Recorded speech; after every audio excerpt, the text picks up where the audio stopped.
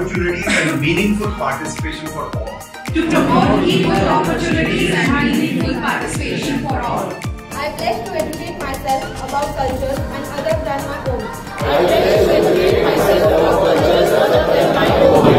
I pledge to challenge and remove my own and other stereotypes about individuals.